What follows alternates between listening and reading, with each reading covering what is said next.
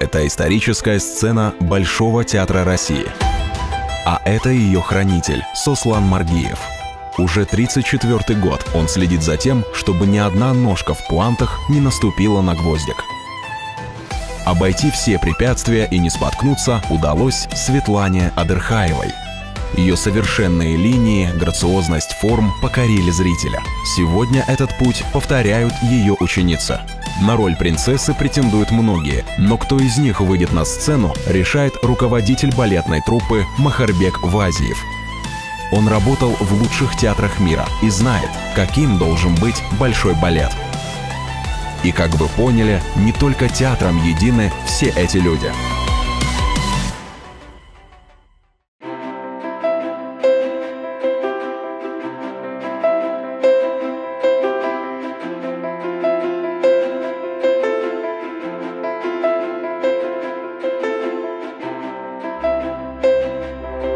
Уже полвека Большой театр гордится Светланой Адырхаевой.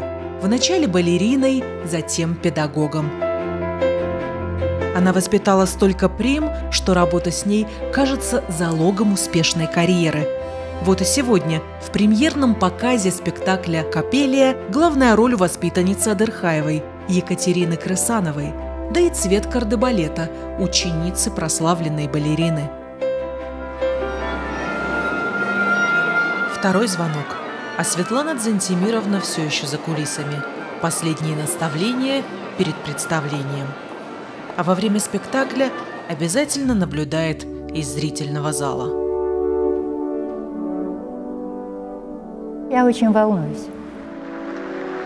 Я не могу вот так вот просто сидеть. Я вот такая подтянутая, как будто бы я танцую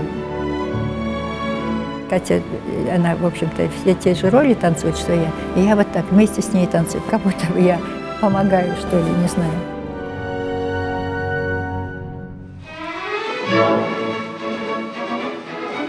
Всегда огромная ответственность, когда она в зале, у меня именно перед ней. И, с одной стороны, это необходимо для меня, поддержка Светланы Задимировны, чтобы она была обязательно на спектакле. Но с другой стороны, когда она есть, я не могу себе позволить не сделать чего-то того, что мы с ней отрабатывали в зале. Если я знаю, что она в зале, я как будто под охраной. Это что-то уже на уровне какой-то магии. Она мне скажет как бы перед спектаклем несколько слов, она появляется в гримерке, и мне уже спокойно. Мне спокойно, что она здесь, что вот она дает мне последние наставления – она смотрит на меня, как я выгляжу, потому что ее слово, ее мнение первостепенно для меня. Светлана Зантимировна, я думаю, гордость всей нашей республики. Всегда э, как-то мы любовались ей на сцене еще потому, что вот кроме техники она была очень интересна, ее была физика ее красоты ног, ее подъема, знаете, вот иногда даже говорили, ой. Человек, который своим талантом, своим трудом достигла самых высоких результатов и стала признанной балериной мира. Всегда очень интересно, всегда очень любопытно, иногда с юмором, иногда строго. Девчонок она любит, э, это я точно знаю. Поговори со Светланой. Это целая история.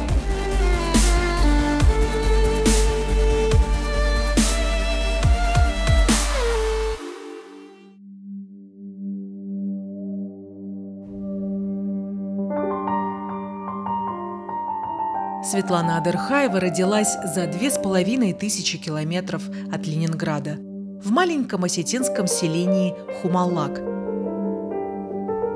Отсюда ее, восьмилетнюю, на рейсе «Счастливый случай» увезли в Вагановское училище. Здесь она узнала о балете все, о чем боялась спросить. Вот у меня в младших классах была Варвара Павловна Мэй, в старших Елена Васильевна Шарипина. Они были высочайшие профессионалы. Они и одна, и вторая ученица Вагановой, знаменитой Агриппины Яковлевны Вагановой. Безумно строгие были. И это не так, и это не так. И особенно вот уже в старших классах я просто думала, ну что, Елена Васильевна Шерипина, ну пусть она меня оставит в покое. А уже, когда я стала артисткой, и так оглядываясь назад, я понимаю, почему она мне не давала, как сказать, покоя, чтобы я там ленилась. Педагоги, они учили собранности. Не так просто было. Все-таки мы маленькие были, и без родителей, и скучали ужасно. И вот занимаешься, допустим, вот, ну, естественно, так смотришь в окошко, там идут, гуляют, а ты должна у станка стоять и делать эти какие-то упражнения, чтобы потом на сцене танец был вдохновенный. Конечно, было все не так просто.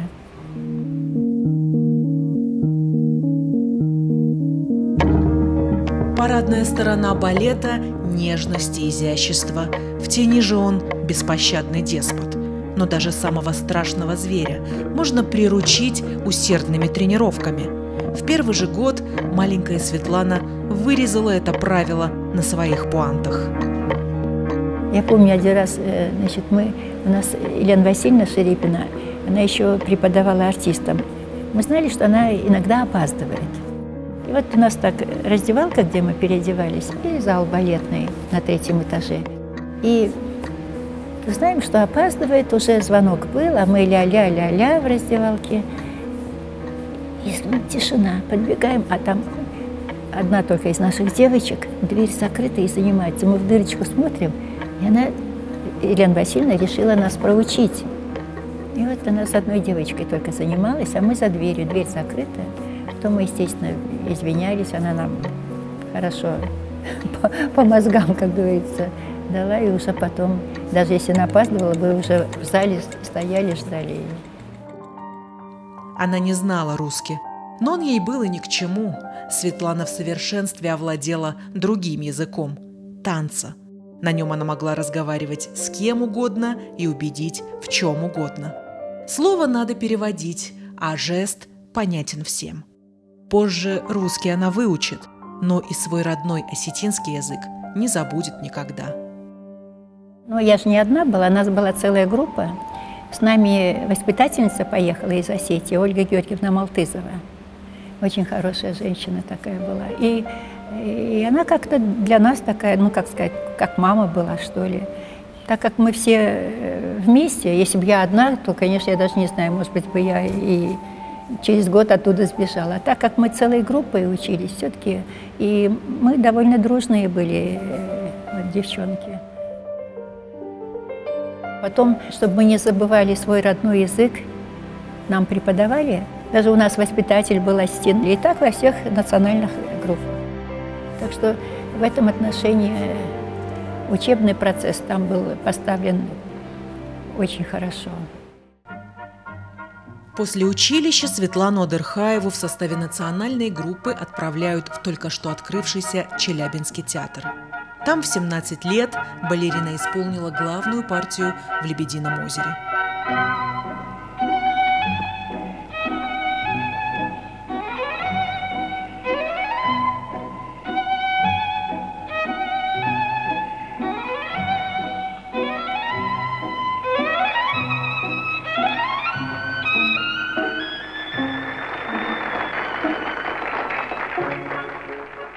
1960 году на декаде осетинской культуры Светлане доверили шесть выступлений.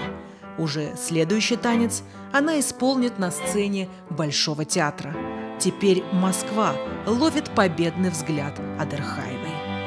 В один прекрасный день во время декады, все это учтите, Сергей Гаврилович мне говорит, Светлана, ты будешь 11 сентября, даже запомнила число, 11 сентября 60 год, ты будешь в Большом театре танцевать «Лебединое озеро». Я вообще обалдела. Вот представьте вообще, да, вот молодой девчонки, и будешь танцевать с Фадеичевым Николаем, партнер Улановой, Плесецкой. И вот, представляете, ну и действительно я танцевала, дебютировала. Сейчас вот, оглядываясь назад, действительно ведь это так и было. Ну и после вот этого дебюта меня пригласили в Большой театр. Конечно, ужасно волновалась. До этого еще была оркестровая репетиция. В общем, мне дали возможность немножко сцену тоже попробовать. И, как сейчас помню, ну, мне передали кардебалет, ну, это поколение старшее. Передайте, говорит, девочки, этой девочки, что зубры ее приняли. Это оценка большая, да, высокая. Приняли и больше не отпустили. Большой театр – это всегда красиво и сложно. Проверки на прочность здесь устраивают всегда и всем. Шаг за шагом, пируэт за пируэтом балерина Адырхаева выбивалась в примы. Хочешь вертеться во всех главных партиях – работай. Я думаю, что в каждой сфере это присутствует. Но если человек будет все время только на это обращать внимание, то из человека ничего не получится. Очень плохо некоторые вот артисты выпячивают наружу и об этом только и говорят. Значит, они из себя ничего не представляют. Я так считаю. Меня лично эти неприятные моменты, наоборот, собирали больше. Я серьезно говорю. И слезы были, все. Но я себе говорила, а я вот вам докажу, а я вот покажу, как надо танцевать. Я думаю, так должен артист себя вести, не обращать на эту грязь внимания. Ведь она до сегодняшнего дня прошла достаточно сложную жизнь. Мы знаем, что народная артистка Советского Союза одна из самых лучших балерин планеты. Но у нее были не самые положительные периоды жизни. А был у нее сложный момент, когда она 11 или 12 лет не работала в Большом театре. Мы не будем говорить, э, по каким причинам, а не так все просто было. Настолько скромные. Она просто она потрясающая женщина, которая в своей жизни пережила очень много событий сложных. Вообще ее судьба достаточно непростая. Я ей всегда говорю, Светлана Тимирна, пишите книгу. Это действительно, это...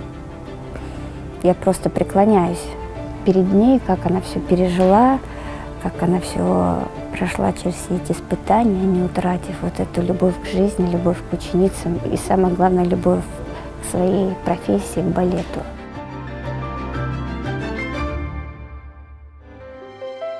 Каждый спектакль особенный, говорит Светлана Дерхаева. В ее сердце есть место каждому выходу на сцену. А их у нее было немало. Да еще какие! О них мечтает каждая балерина. Воплотить на сцене Большого театра лучшие партии ей доверил Великий Григорович. Я начала э, с «Лебединого озера», да, в этом балете станцевала партии Адеты, Адили, и «Каменный цветок», «Хозяйка Медной горы», и в балете «Легенда о любви» партию Махмене, Махмене Бану, царицу. Уникальный балет. И музыка, и так талантливо поставлена Юрием Николаевичем Григоровичем. И она мне близка по пластике, по духу, потому что мы все-таки, ну, Кавказ, Восток, по-особенному как-то чувствовала. И из всех этих балетов этот образ, наверное, ближе. В каждом спектакле артист должен донести до зрителя этот образ, который ты танцуешь. Не просто только э, там повторять движение, потому что, в принципе, у нас лексика э, классического танца все одно и то же. Но как ты выразишь? Ты должна понимать, где ты находишься в данном случае, какое время. Вот тот же «Спартак», да, там я танцевала и Дину. Какая она должна? Она совершенно диаметрально противоположная да, той же Мехмене Бану. «Каменный цветок», «Хозяйка Медной горы». Вообще шикарные балеты. Мне в этом отношении повезло.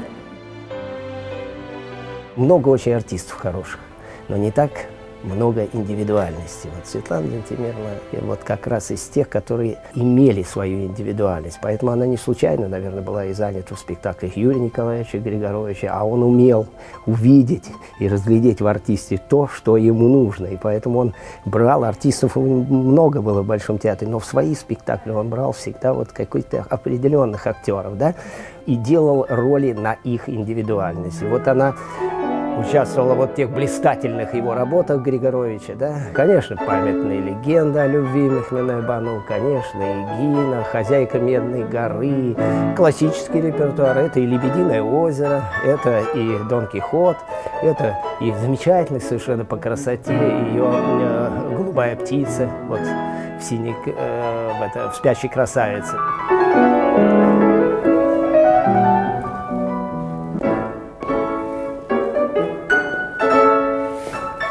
Также поясничку держу. Раз. Стоять. Замри. Вот так. Вверх. Гаси. Стоять. Ну, фокус где? Раз, два. Раз. Вверх. Настя, вот немножко вот так было. Помнишь, я тебе говорю, вот лопатка, носочек и сюда. Во-первых, легче этот двойной рон делать. Ты сгибалась, но ты немножко вот так была. Так, а мне нужно вот, чтобы линия была. И здесь тоже линия. Не вот так, а вот, как и карте. Ну, давай еще разочек. Репетиция перед премьерой. Светлана Дзантимировна вновь готовит ученицу, Анастасию Сташкевич, к главной партии на сцене. Ее партнер – ученик народного артиста Бориса Акимова. А ведь когда-то педагоги и сами блистали на главной сцене страны. Они и сегодня танцуют, но телами своих учеников. Я пришел в 65 году в Большой театр. Светлана Зантимировна уже танцевала, была прима-балериной Большого театра. И поэтому я ее знал, конечно, как замечательную совершенно артистку. Она вообще из плеяда тех блистательных совершенно мастеров Большого театра, которые украшали его сцену. Я счастлив, что я ее видел на сцене, вот когда еще пришел совсем юным, а потом так вот жизнь сложилась, что и уже встречаться с ней стал в репетиционном зале. Партнеры у меня были потрясающие. Михаил Лавровский, Борис Акимов, Александр Богатырев, Вячеслав Гордеев, Марис Лепа. Все наше поколение со всеми перетанцевало. Самое главное, что я много танцевала со своим супругом Алексеем Закалинским. Каменный цветок, он Данила был, Лебединое озеро, там Шапиняну. Он очень талантливый человек был, к сожалению. Ушел из жизни. У него была травма позвоночника, и так очень серьезная, да. Еще как бы в юные годы. Мы и танцевали вместе, и он ни одного моего спектакля не пропускал. И на репетициях он бывал, и всегда мы дома разбирали спектакль. Он мне, допустим, говорил, вот это хорошо, вот здесь надо еще дотянуть. Он очень творческий человек был. Ну, там и рисовал, и он как скульптор, он меня и в «Спартаке» вылепил, и в «Легенде» вылепил. Так что у него дар такой был. Ну, вот так безвременно ушел. Уже 9 лет, как его нет.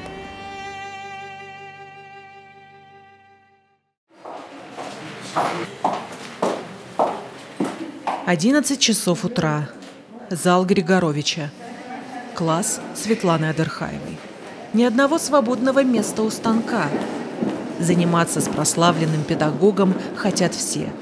От совсем юных балерин до прим.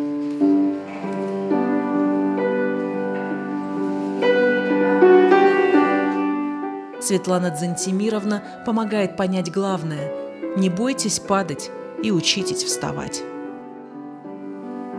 Мне всегда класс наполнен э, девушками, балеринами, и все ее как-то поддерживают всегда, и все не то что поддерживают, а все исправно ходят к ней в класс, никто не перебегает, знаете, вот ходят к ней заниматься. И э, я почувствовала вот эту дисциплину, собранность. Э, она всегда дает замечания, она всегда, причем она знает, что она говорит замечания одной балерине, и остальные должны тоже слушать. Я невольно всегда, вот она там кому-то делает замечания, какие-то пожелания, кого-то исправляет, я невольно сразу на себя переключаюсь, и я понимаю, что это не только одной э, девушке было сказано, что это в принципе должно быть сказано всему классу. И она же не тихо это говорит на ушко, она говорит громко, чтобы все слышали, не для того, чтобы обидеть кого-то, а чтобы исправиться. В общем, это как продолжение школы. Школа, настоящая школа, понимаете? Вот как правописание. Также у нас позиции, чистое построение корпуса, ну, много премудростей.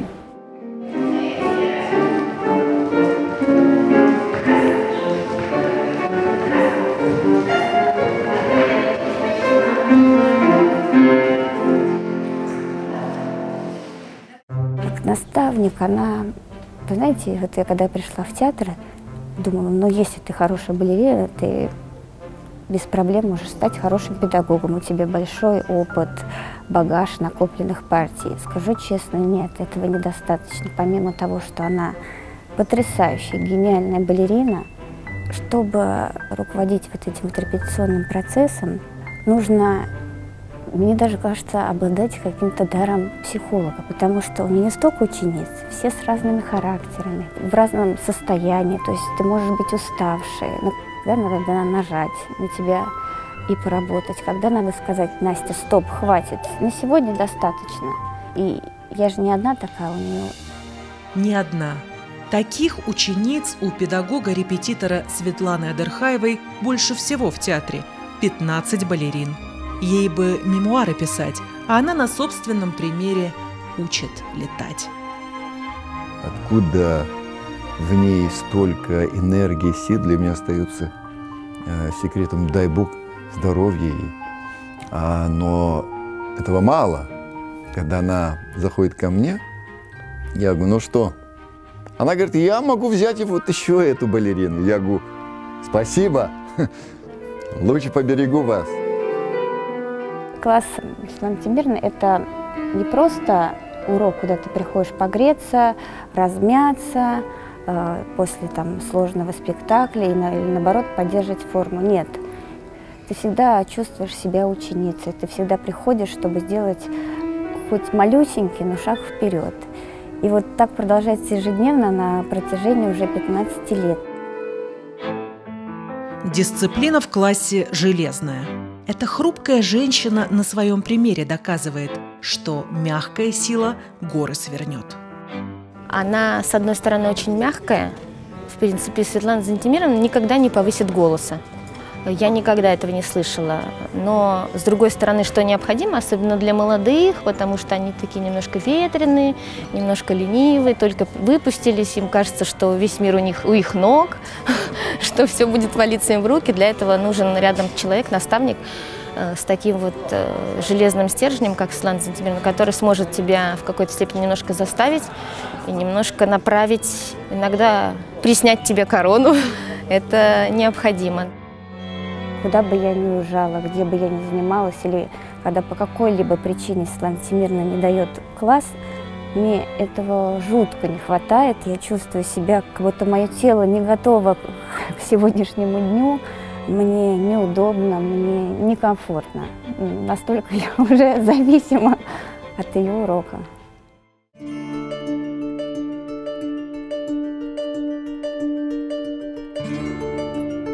Вы знаете, ведь артист очень часто меняет педагогов.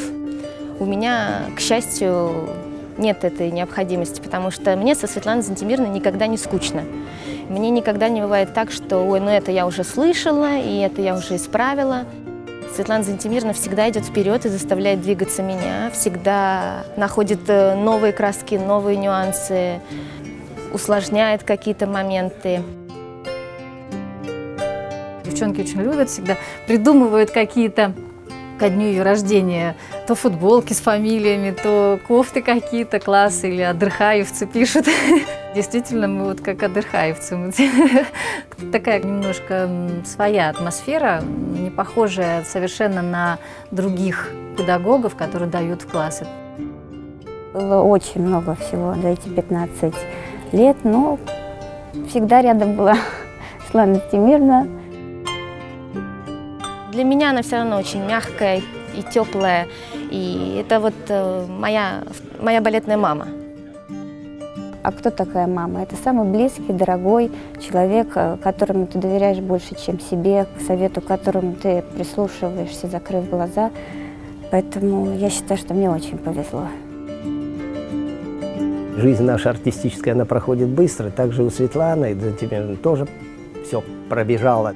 И, конечно, великое счастье, что у нее способности оказались очень хорошие, такие педагогические способности, да? знания, которые она получила. И вот ту школу, Э, Вагановскую, да, училище она получила, она, конечно, все это использует от тех своих педагогов. Конечно, педагоги были у нее действительно, я бы не побоялся сказать, по тому времени великие педагоги, понимаете. Я вот, э, когда танцевала у Марины Тимофеевны, наш тренажный класс, она нас называла Светка, Машка, Дашка, вот все. Светка, дай за меня класс. Потом, когда я в ГИТИСе училась, Тогда зав кафедрой был э, знаменитый Ростислав Владимирович Захаров, знаменитый балетмейстер, который поставил балет «Золушка», «Бахчисарайский фонтан». Он был зав кафедрой в ту пору. И, будучи студенткой второго курса, он мне вдруг дает два курса, значит, э, эти, из какой-то страны были, Мозамбик, что ли, заочники. И Марина Тимофеевна, и Ростислав Владимирович, они видели, какие-то во мне педагогические э, данные. Значит, это не случайно. Вызывает восхищение. Вот если вы возьмете наше расписание, посмотрите, то чаще всего там встретите фамилию Дархаева. У нас одна, вторая, третья, пятая. И так целый день она репетирует. И, конечно, она не просто репетирует, а ее ученицы, безусловно, являются примами балеринами Большого театра, и Катя Крысанова, и Настя Сташкевич, и многие другие, которые сегодня являются действительно украшением балета Большого театра. Настолько волевая, цельная, устремленная и, самое главное, обожающая своих балерин. Человек, который вкладывает в них все самое дорогое, что в ней есть. Она дает полностью свою любовь своим ученицам. Она за них борется, она за них готова, я не знаю, на амбразуру просто бросаться. Все зависит тоже от дарования преподавателя. Потом еще, знаете, наша профессия, ну не только артисты балета, там и певцы, там и драматические актеры. Не каждый артист гениальный, да, он артист гениальный. А как преподаватель средний, это очень часто бывает. Знаете, я вам приведу э, пример, я всегда ее вспоминаю. В Ленкоме была такая актриса, народная артистка СССР Ирина Алексеевна Фадеева. Вот много в фильмах снималась, там «Мать Ленина», все. Э, я просто ее очень хорошо знала, и я э, ее спрашиваю, Лена Алексеевна, я говорю, а почему вы а мы как раз поступили в ГИТИС учиться. Я ее спрашиваю, Елена Алексеевна, а почему вы не преподаете? И вдруг она мне говорит, а я не могу, Светочка. Я обалдела. Я говорю, как не можете? Не могу. Плохим педагогом быть не хочу, сказала она мне. Я тогда еще как-то не совсем поняла, это же давно было. И, а потом я поняла, что не каждый артист, может он быть гениальным танцовщиком или вот как гениальная актриса драматическая, а, но она умная была. Конечно, она могла преподавать, но она не хотела, она понимала. Вот так же и в нашей профессии.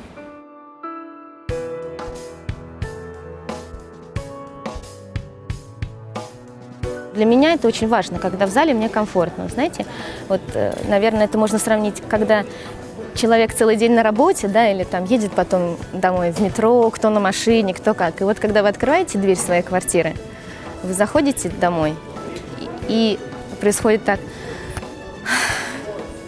комфортно. Вот когда я открываю дверь зала, и там сидит Светлана Зантимировна, э, какие-то другие слова, наверное, не опишут того, что вот мне очень комфортно с ней в зале. Наверное, мне тяжело достаточно подобрать слова. Это очень дорогой для меня человек, очень дорогой и очень глубоко в сердце. И это большая любовь, огромная благодарность у меня к ней, а, потому что она проводит со мной невероятную работу.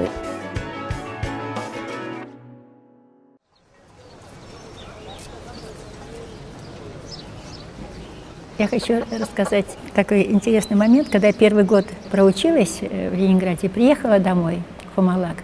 У нас такой двор большой, и посередине груша лесная росла.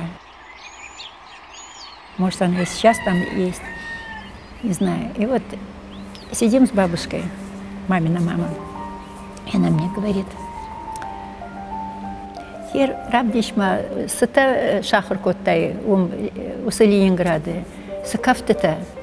Ну, я вскочила, значит, как это, думаю, покажу ей. И там прыгала, прыгала, прыгала, прыгала.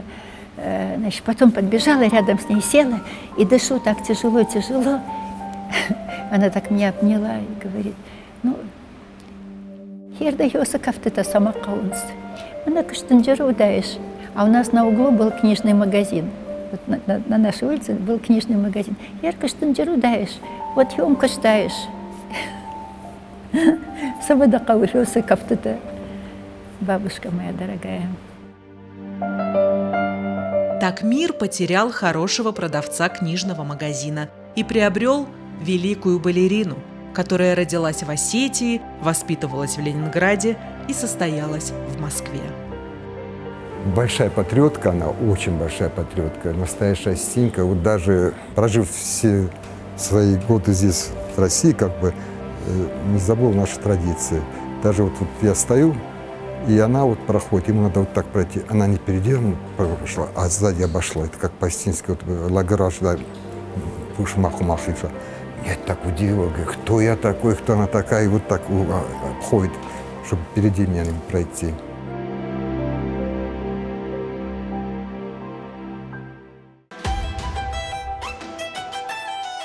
Знаете, в чем заслуга и вообще величие ярких людей? Они самым прямым образом провоцируют следующее поколение. Это человек, который действительно прославил нашу республику, а она стала признанной во всем мире. Представьте, она уроженка Хамаллаги, маленькая.